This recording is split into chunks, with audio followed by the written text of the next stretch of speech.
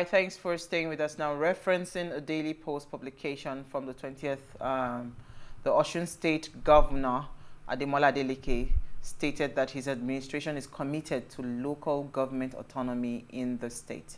He noted that the local government autonomy is in line with the principles of federalism and it gives government to the grassroots. Adeleke dropped this hint during the ongoing ministerial briefing in the state. Now represented by his deputy, Kola Adewusi, the governor held the local government administration um, gov local government administration in the state has been bastardized by politics. Now, according to him, local government needs to be granted autonomy as this is the grassroots government through which the people get the dividends of democracy. And at the state, uh, uh, sorry, at the same time, granting autonomy to the local government is in total accord with the principle of federalism. Now, Adeleke also assured that his administration will bring normalcy and take steps to correct the aberrations of the past. Now, considering the state of politics today, what are your thoughts um, on Osun State governorship, um, the upturning of Governor Adeleke's you know, governorship, and also this local government autonomy. That's the conversation we're having today. Now, please, let's hear your thoughts. Remember, you can join the conversation. Send us an SMS or WhatsApp to 081 803 You can also tweet at us at Wayshow Africa 1 with the hashtag Wayshow. So I'm going to bring in Kunle Lawal in a minute. I just wanted to hear your thoughts. Um, Diola, what do you think? Um, I mean, I've heard this in different quarters that local government autonomy is what we need, and I see it every day. So before I actively started participating in conversations around politics, so when people used to say those things, I didn't understand. Mm. I couldn't get it. But now, with every day, with every news that I read, with every engagement that I see, I see that the truth is local government truly must have that autonomy. True. They must be empowered because everything about the state rises and falls on the local government because those are the ones that are closest you know to the people so your inner streets all of those things your drainages and all those things are supposed to be controlled by the local government so now i'm just wondering as a governor shouldn't you even be happy that somebody is trying to take the burden off your neck so that you you just empower them to do their job i don't know why state governors are now like against, well. you know, and our states, Lagos State is the one championing it. but let me hear your thoughts quickly. You know what they say, power, absolute power is very intoxicating and um, having control over the funds, you know, of the local government is also something. So for a governor who probably doesn't even understand what local um, local government autonomy even means. You know, he doesn't see the need. He or she probably doesn't see the need, and then mm. just feels okay. You know what? I can do everything. I I have absolute control. And so for me, I would say that it's important that even us as citizens, we need to get to a point where we educate, enlighten, and empower mm. such that we understand what the tiers of government, you know, what they do, the role of the local government in governance. So that even when exactly. When elections like this come up, we understand that, so, listen, the governor is very far from us. Mm -hmm. The person we need to make sure, you know, gets there to do what we want is the, lo is the local government chairman. Mm -hmm. So when we, when we have... Um, um, when, when we focus on that, you know, we would begin to want to get the best people in, into, you know, into to, power. To, to, into power. So yeah. I, I think that's. Um, so sadly, the person that is even fighting for the local government mm. autonomy is one that they have upturned his as well. But let me bring in Kunle Lawal. He's an entrepreneur, idea generator, TEDx speaker, and a patriot.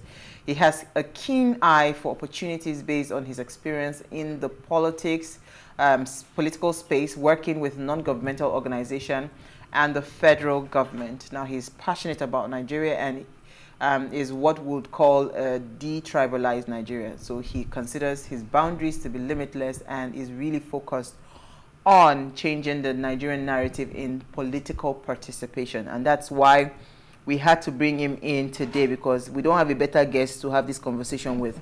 Kunle, thank you so much for always honoring our invitation whenever we call. You look dapper this evening. We've not seen you this year. Happy New Year. Happy, Happy New Year. Wow. And it's, it's always great to be on Ways. You know, I consider Ways as family. And this is a conversation that's very close to my heart. And I Absolutely. look forward to a great discussion. Because you are one person that helped me to see the picture. So Kunle was part of the people that educated me on you know local government and how so even if certain things are happening how we can hold the local government um, accountable. So when that story broke i remember sharing it to you and i was saying Kunle, we have to talk about this. What came to your mind? So with all the good things that have been happening and all of that did you kind of like preempt that that was going to happen? Um, you know eventually I, i've always believed this um, and which is first and foremost um, the first handshake of democracy to the nigerian is the local government. And we've kind of underplayed it, so I'll start with a little example. Etiosa, which is where we are in, is considered probably the most intelligent local government in Nigeria mm -hmm. and also the most advanced infrastructurally, thought process. But uh, now here's the problem.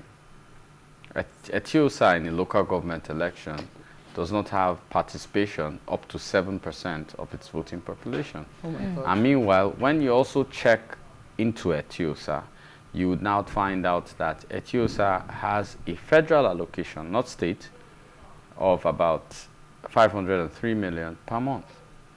It begs to ask the question, um, what exactly have we been asking for or yearning for? Now, there's a common misconception by people who are in power. And I really blame, you know, the initial 99 sets because we've had local governments more functional in a military rule than we have in a democracy. If I remember the first few police cars which you got which looked mm. flashy were given by ALGON, which is the Committee for Local Government Chairman. But, you know, coming into a democracy, you find their funds being seized and you have an argument over their autonomy. Now, I know we have a lot of SANs in this country, but I find it highly, I don't know I, what word to use that wouldn't sound aggressive on TV. But I find it hi highly um, condescending that um, in the constitution of Nigeria, state government is separated, local government is separated, and the argument of local government autonomy exists. Mm -hmm. In Nigeria, I don't know whether we want in our constitution we should write the president should brush his teeth at 7 a.m. Mm. It is autonomous as by the separations Already. of the chapters Already, yeah. as is. Mm. And that is why some, some governors in their immaculate power have decided to think they could sack elected local government chairmen, which have been upturned by courts. Mm. And you ask yourself the question, what do the people even think? So the average Nigerian thinks that local government's powers emanate from the state. No. They do not emanate from the state. They're a separate tier of government. Their powers come from the constitution. Like it comes for the federal, it comes for everybody else. Uh, it's, it's, it's highly you know, impressive to see someone like Adeleke, who's referred to as a dancing governor, to even understand the basic concept of um, governance. Now, let's also push it. And once in a while, I like to advise people in, um, who are lawyers. And, you know, you, you find most lawyers wanting to argue on the parameter that um, we should have state police in this country. Yet, we're being trained by um, Hollywood. I'll say Hollywood has been able to inculcate directions into our thought processes and you see the sheriff trying to, you know, handle matters here, handle matters here. That's local government. So security is also vested, even in the Nigerian constitution, in local government. And we just want to scream state police and we feel that's the, the, the most grassroots purpose. Who is going to drive the state police if not for the lo from the local mm. government? government so, so in Nigeria, we kind of think of governance, uh, the simplest way to think of governance in Nigeria is, is kind of funny. So uh, we, we, we love the roof, which mm. is the federal government. We love the windows and the blinds and whatever that exists, which is state government and then we left the foundation of the house to be non-existent. so I, I don't know how, how that house how is planning to stand. stand. Mm. And, and you know, it's, it's a big problem. We're talking about border security.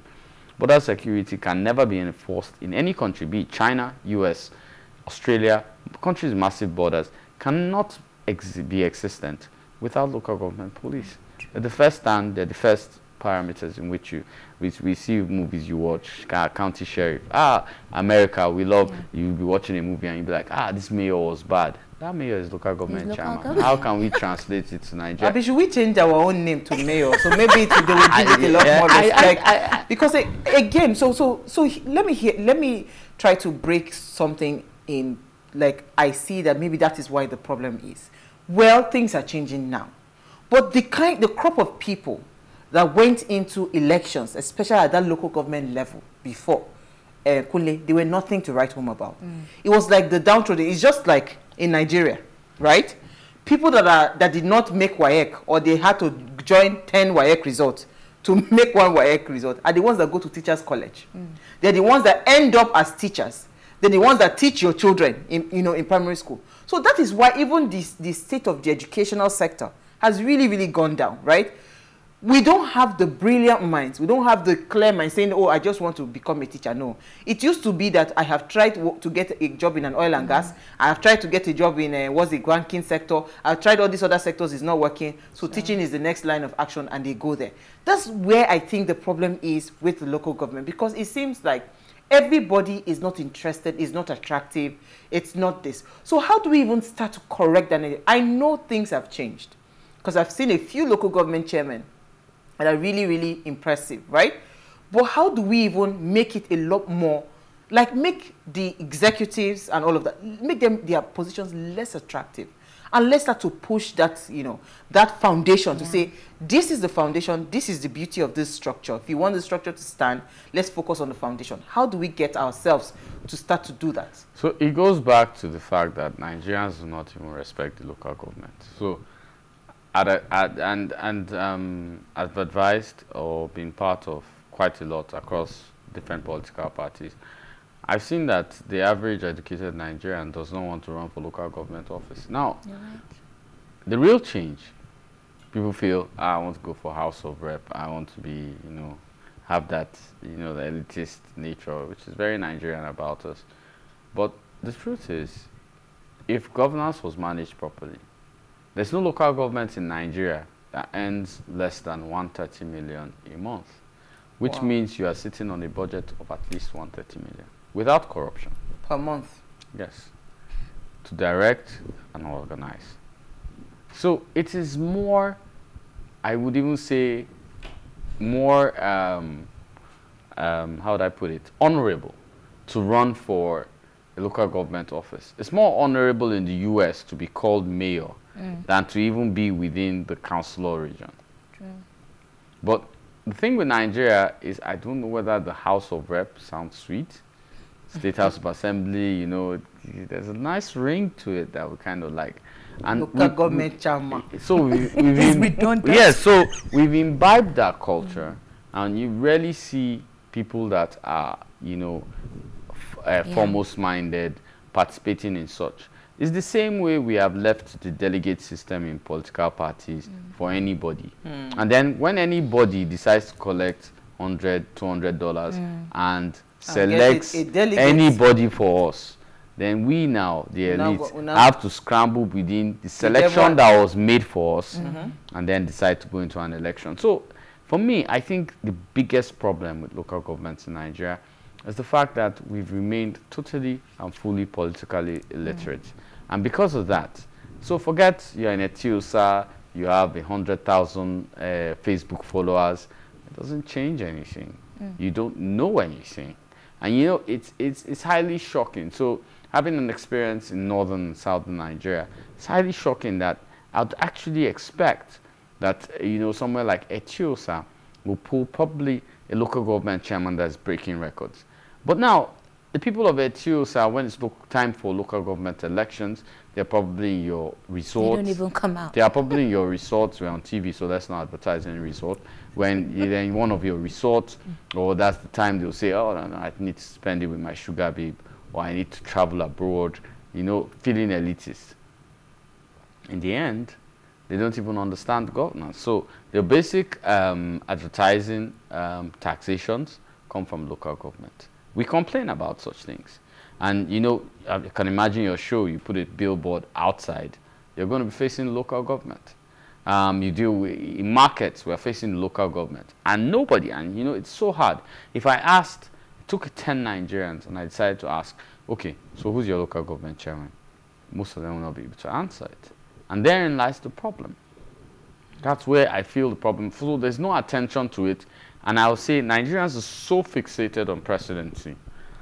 Yeah. Always, uh, it's even so shocking that heading towards February 25, I can tell I, I can tell you that everybody just knows ah, I'm going to vote this guy for president. Okay, you vote this guy for president. Then just say, and, uh, and, let's go let's go local a, a little bit. They'll say okay, I send it anything time because because the same guy I voted for president down down the line. Just go cross across, cross party line. You know, today I was speaking somewhere at an event before I came here, and the person was like, "Oh, so you can vote different yeah. parties?" They didn't know that. I was, I, I was highly, I don't want to say shook mm. that someone could ask me that question, but how innocently she asked me, I knew she was not kidding. She actually assumed that if you vote give or take, let's say, let's just pick a party, any one party, PPP. let's just say you PPP, which is not even. Mm. If I vote PPP at president, I must vote PPP at governor, uh, senate, then mm. House of Rep. Mm. That's what that. that's what that's what mm. people mm. a lot so, of people so that's why you see that even the campaigns are focused on the principle yeah. because they know once they get people to vote, vote for the the principle, the, principle yeah. the voting just goes thumbprint I used to be like that mm. but we have changed new year let's go on a break when we come back from the break we'll continue the conversation stay with us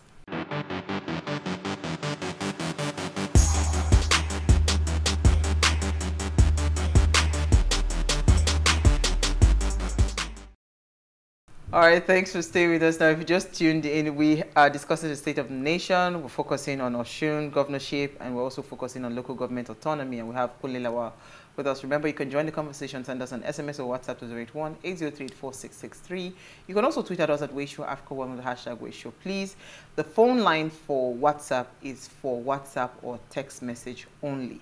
Somebody has been trying to call persistently, but that's not a phone for to take calls. Is the call um, sorry, the SMS and the WhatsApp line. Besides, calls are only on Tuesdays and Thursdays when we have our ladies' night out. All right, so I mean, Kunle, I because I want us to quickly dovetail into the you know the governorship saga that happened or whatever. Mm. I don't know what to call it. They want to sack our dancing governor, the man that gives us some moves online, right? Um, so, but I just want you to quickly touch on this. Like, if we try to sum it up, how do we how do we, what's the best process? Because we've gone through now and it's not, is, is hitting a, a, a brick wall. What's the best process if we want to really fight for this autonomy? Should the people take up the fight? Okay, I think one of the first things we need to understand is that the local government do not have immunity.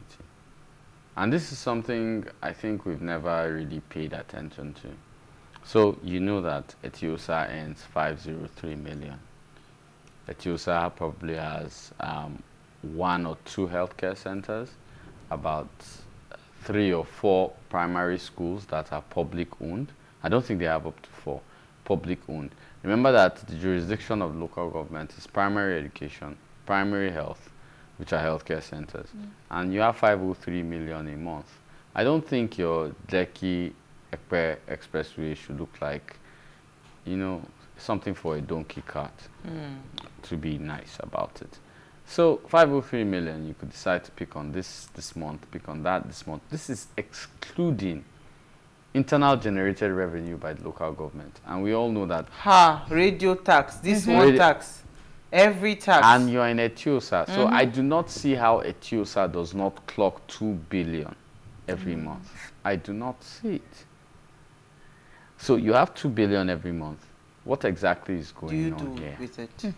And I think what's key is that the citizens do not understand that these guys do not have immunity. So if they don't have immunity, it means they can be sued and they can sue. So it means that if you sue them, they will go to jail for doing what exactly is not being done. But you know, we rather take bigger pictures. Ah, you know what? Ah, this president, I don't like him. And that's the kind of argument we want to have. What is your basis? Yeah, I just don't like the president. It's not from my part of the country. That has nothing to do with you. The transformer, your, your issues, the fact you don't have pipe bomb water in Etiosa. I'm sorry I grew up in northern Nigeria. I kind of find that odd. Uh, but You don't have. Yeah, I went to univ- uh, my university has a dam, please. No, no show up. Funny- Uh, but fu- no, no, it's good you are saying this. I was saying to someone today that Kaduna State government, right? I think they are the one of the under under um, estimated or what do I call it? You know, people don't understand what is going on there. Yes. are some things that you worry about in Lagos that is just, I mean, it's a given there. Things No, are happening. No, no, no, no. Look You know? at the figures. Since you mentioned Kaduna, look at the figures. You have Lagos probably generating about five something billion eh, IGR in a year, Mm. and um, 25 million people. If you divide that, what do you have? Mm. Now you look at Kaduna State, about a general population of less than 4 million, generating 120 something billion a month. Yes. But so it's like, let me break this down for the viewers so that it doesn't sound complicated. It's like I'm a, I'm, I'm working for Shell. I'm earning one million a month, and I have ten children. Then maybe I'm working for a, a an advertising company. I'm earning 500k, but I have one child. Mm. What I'll be able to do is far more. So Lagos lives under the hoax of we generate the most, but to what cost and what end? How many people do you have in your state? How, what infrastructure are you providing? and at the given same that time? Lagos would have even been able to generate even much more, right? And even with the little that you generate as a state, how accountable, how, you know, because again, we, we, we are, the, the, the entire state, let's not even focus only on Lagos state. Governance in Nigeria is almost like, you know, a retirement plan. It's almost like, you know, let me just, it's free money, my ATM machines for when I'm, because people don't see governance beyond just pockets and all of that. Because, like you rightly said, if I'm generating 500 million per month, right, or I have a revenue of 500 million per month, let's not even do too much. This month, let's focus on this. This month, let's focus on that. By the time your four year is elapsing, there is no part of the local government that you would not have touched. Yes, Do you understand? If you truly, if the focus was truly on governance, but the focus has never been on governance. And again, I hear you. It is us, the people, that have allowed it this long. Because now, if we start to sue them, and if we start to demand questions and ask them, what did you use this revenue for? How did you, you know, because again, most of these roads that you see being fixed are still being fixed by people. Because I know we also contributed money, you know, mm. to, to fix our own road. So where is the money that you were given for us as, you know, as a, a, a local government chairman? But you know, it's, I mean, it's, it's an interesting, go ahead, so Gila. I think if what if the topic is local government autonomy, Mm. that's to say that they really do not have autonomy. So they can easily say that well, we're not saying this money. This money is there, but we're not. It's not getting to us. Do you agree with that, I, I, I mean, No, no, let me explain. You see, this is where it gets interesting. So, if they claim they don't have autonomy, that's not your problem. FAAC allocations f- comes from federal to the local government. How they use it or whoever takes it along the way is not your business. What is your business? Is that you have this social amount of money, which is shown on FAC allocations sent to this particular local government. Defend what you used it for. It's very simple. But the people are, you know, trying to scamper and say, eh, maybe in some cases they'll say, ah, one governor took it. Fine. Even if the governor takes it, that's not your business. Hold the local government chairman and say, okay, guy. He himself will go hold he his own himself. so when you hold him, Yeah. he will now say, "Ah, governor, even if I wanted to give you members, Yeah. I can't. I will go jail. Yeah. You, you get immunity. I, I don't no get. get. True. Uh, please, I beg. Another person. And that's how you start to get this, the system to work. So um, we kind of are expecting govern- government to fight itself over money it's gaining for itself. No, That's not uh, going so it has to be the people. But quickly, Yes. quickly, let's move on to this Governor Deleke's issue, right? Um, where are we with it? Is it going to appeal? And what's what's? I mean, so can we even get to that point where I was watching a video where someone was saying that can we not get to the point where we don't go to what's it called tribunal or this uh, election tribunal? Um, because now, me, my real question in this question is what happens in 2023? Okay, so Because um, this is almost like a pointer. yes, Go ahead. And you know, they say with change, of course, comes strife. So it's natural that, you know, the Electoral Act of 2022 has brought in BVAS.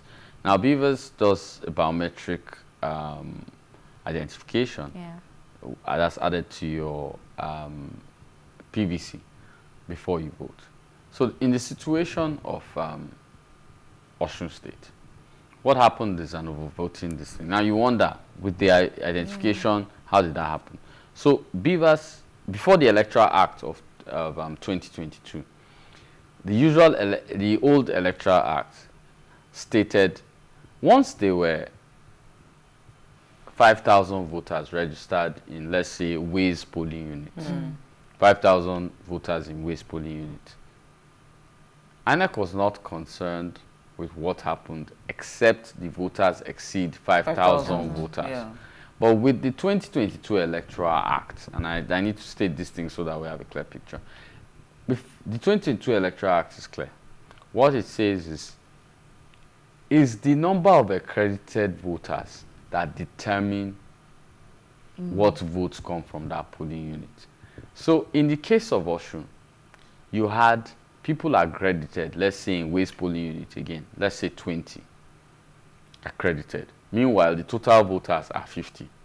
And then the guys with the old game still decided to go behind the, the machine and do the thumb print on the ballot and get 50 because it's 50 that is here. Eventually, when they check the BVAS, it is overvoting because the it's only accredited uh, accredited voters. So it's only people that they've checked their Yeah. PVC, matched the biometric to themselves. End of story. So what they did was cancel 400 and so, 410 or 400 Yeah. and something polling units, and then what was left when they did the math, Adeleke was at a loss. But let's remember that this was taken by a court in um, Southwest. It's still subject to the Supreme Court's interpretation. So wait for the Supreme Court finally. But wait, Okunle, when we voted in 2015, we did the biometrics though. Yes, but then the biometrics was not interacting oh. with Oh. INEC. Yeah.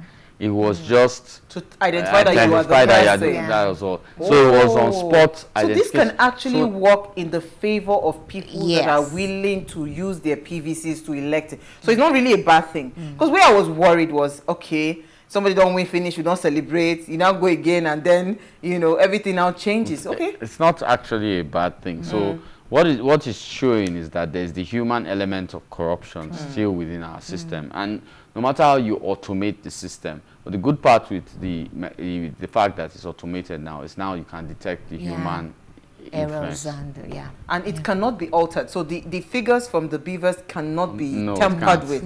No. So Oh, wow. accreditation, and you know it's so what it does when you when you check your so now apart from from 2015, that's post 2015, and Osun is the first time it was tested. So after 2015, once you put in that this thing, it relates directly to INEC and relates back. It checks the INEC server, which means there's a hit. So based on those hits, it can calculate the number of accredited voters. So if if you if you go to and print the ballot after, let's say I like the example I get, 30 more people go to print. Yeah, it could take some time, but when INEC pulls out its information, it will know that it's only 20 It's- people it doesn't accredited. align. Diola, So so- instead of doing anything, it will cancel. What what INEC's move is is that it cannot separate which 20 on the this thing. So INEC will cancel the entire polling unit. Hmm. So what if the past governor, Oyetola, you know, what if he had just taken it in good faith? Okay, I didn't win, you know, Adeleke is the win. Because I think he challenged this, this but result. That's why they went to the tribunal in the you first didn't hear Kunle's last line. Wait, make wait. Because now fear they catch me. what if that party uh, fake voters, or let's call it extra voters, was the the person uh, in, intention before? And so, for instance, I want to. I know Jola is going to win me. They get to. I know Jola is going to win me in certain polling units. So I plant people to go and deliberately spoil those um, this thing and have excess people vote in even in, in my favor. Ah. Because now what you are saying is that they have not checked the ballot paper to know who was not accredited. You understand? They're not comparing it with, with what who actually voted. So what if that vote did not? It, it was not really my intention. I mean, it was my intention to actually use it to nullify, knowing that she was going to win. Okay, so That's why we said it's still subject to interpretation from the Supreme Ha. Court. Mm. So at the Supreme anybody Court, can use it now, against now the Supreme Court can, s- of course, subpoena INEC on any Mm. any of these, you know, related issues, and the Supreme Court can say, okay, you disqualify this polling unit here X. Okay, give us the information you have for incre- Mm-hmm. accredited, and only the Supreme Court can do that. Give us the information you have for accredited voters. Give us the information for total voters. We can sieve through. And once those two information is provided, you know who did what and how. Okay, so they'll be able to provide the ballot Yes, papers yes. and all of that. That's, yes. Oh, fantastic. Then we're good. So it yes, should be we appealed. are. So for me, so for me, it's um, it's a minor glitch in where we're going to. Mm. Um, we've constantly done the things we're used to as Yeah. Nigerians. Um, let's see how the system fights itself. Well, you know, um, the president has been fully clear that if there's anything he's going to do right, it's going to be determination Anybody that wins the election free and fair, fair will get the get seat. the Yeah. Okay. He's been he's been very strong on that, and I believe the president on that. Only I'm happy now because I was a bit worried because after we are done voting Yeah. and somebody then so okay so I get you so they can pull out those information Yeah. and now know But where but- this but on- remember, this was so based on jurisdiction. This was a high court, I think, somewhere in. but what if Southwest. again Kunle, let me paint Mm. scenario what if I knew she was going to win and I planted those people to vote in her favor and they now pull out the result and they see that those extra people that were non-accredited voted for her That was the, I will still no, fulfill remember, my purpose. No, you need to understand this. So, Hey, so the way the way law and justice works, you Mm. need to understand that um, they are blind. As much as in Nigeria, we try not to. So their It's, business. emo- emotionless. Yes, it's emotionless. So their business is only with those that were accredited and those what those accredited, accredited people did. Oh. Any other thing. So any It's other thing. yeah. Okay, so the as box. long as they can match Yeah, the yeah, that- accredited voters mm-hmm. to So, who they accredit, yeah. who they voted for, any we're other good. any other thing is your business. Okay. Yeah. okay. They are not even concerned about it. It's a waste of time. It's Okay. everybody. I think we can layman, any layman outside like me, Yes. you've understood the matter. Mm. All right, so let's take some comments. Good evening, my dear beautiful sisters of what are you saying? Ways. Um, Oshun, it says your guest made mention of people not knowing the names of their local government chairman, which is very sad and unfortunate. But they are, um, they are interested in good governance. Sister was said that in Nigeria, um, their own understanding of true governance is caring for their own pockets without performance. This alone is wrong. I don't know why Adeola, Ademola Adeleke's election was nullified. Um, Sister Wa, please try and stop waking up early and get enough rest. You need, you need it. Thank you so much. Someone who is not agile cannot work effectively. Abi o Daniel Ilo, you don't understand. We have to work while we are young. Jola, say your comment. yeah, so um, this says um, for me, autonomy or no autonomy, most of these governors control them by remote. These governors ensure that they put in st- stooges Stooges. who can challenge them. When the monthly allocations come from Abuja, these same governors dictate the disbursements. Unfortunately, the citizens' office is docile. Why are you not bothered that the legislation for creation of LG autonomy was rejected in the states? These LG chairmen are tied to the apron strings of, of Oga governors. Same with state houses of assembly. So whether the dancing governor wants the autonomy, he does not change anything. This is Austin from Delta. So Kunle, let's wrap up. okay, so um, to answer Austin from Delta, Austin needs to understand one critical thing. So regardless of what's going on, if um, they, they want to give the governors their money, no problem now. We sue you, you cannot defend it, you go to jail. They bring another person, the other one goes to jail. One of them will say, Enough is enough. I know they- True. So we cannot expect governors to say, you know what, I love my people so much, I'm just about to give autonomy. He doesn't even have the power. So uh, the, the, the onus lies on the citizen to take, you know, drastic risks. We want to be America. We want to be UK. We want to Japan and be like Canada. But we've forgotten that this civilized society is putting a lot of work to be where they are. Absolutely, absolutely. And I think, you know, if, if I've gotten anything from the conversation tonight, it, it still tells us back to everything that the power lies with us. with us as the citizens. So it is you can do whatever you want to do there. as long as we are in power. And I like the fact that you kept on harping that these guys don't have autonomy. I mean, sorry, they don't have immunity. Mm. They don't have immunity, they don't have immunity, meaning that if there's an allocation and there's something that's supposed to be done with that allocation, you know, you can actually question them, you can sue them, you can take them to court. You know, I, I, hopefully we'll be able to get it right because we are shouting, but I, need, governor, I need to add something. presidency. We're not focusing on local I think, government. I think I need to add something here. So I know people want to say, ah, you want to sue them, ah, you want to carry a Lagos state chairman to court in Lagos. Mm. You don't carry them to court in Lagos now. Abuja. Just report the, the case to EFCC and oh. carry them to court in Abuja. Those mm. ones are ready to, they are ready to act. it's none of their business. Mm. So you play on such parameters. Citizens need to get wise. Yeah, we you don't need, need to, to play the game. Uh, you don't need to play the game as predictable. So you can, I can just go and sue the man in, in Kafancha. Mm. That's all. they will call you for Kafancha. and you know EFCC, they are, they are, they are very agile. They are always ready to. But, but quickly, who, who protects the citizen? The because now you know these people have thugs they work with. Okay, so if I am a citizen in Lagos and I want to sue, let's say, give or take, I don't want to use Eti-Osa again so that I look mm. like hmm. I'm attacking Eti-Osa. And I want to sue, let's say, uh, let's say I'm from... Just Cala anyone. Calabar. Yeah. yeah. I'm from Calabar, municipal. So Calabar is municipal, so I want to, I want to sue Calabar municipal. I'll carry the case to Abuja, sue Calabar municipal. Do I need to put my name on it? I don't. Okay. I can put, uh, we have our progressive unions. Is it not? Is it not Nigeria? We have all those our unions. The only thing the unions do is to drink together on Saturday and, and, and, celebrate naming ceremony of one member. We don't use it to do anything. True. It doesn't have to have a name tag. Hmm. So you can actually just anonymously sue them. Awesome there shall be some suing that mm. will go on. But thank you so much, Kunle. I think we've had a very educative Fantastic, conversation. Yeah. Every time I sit with you, I always learn more about the political space. Ah, for me, it's, uh, it's That's why, uh, what did they call him? People that don't know what Kunle do, go online and go and follow follow him because he does a lot of uh, polytracy. That's what we call it. That's very so important. So for me, it's the blue suit. It oh, kind of calms you. me. thank you, thank you, thank you. now, before we go, ensure you follow us across all our social media handles at Wayshow Africa. You can interact with us further, drop a comment, and more importantly, follow all our engagements on social media, like, share, invite your families and friends to watch and follow. Share so that we can also, all these great conversations, more people can hear it. All right, um, if you missed our quote for the day, here it is again.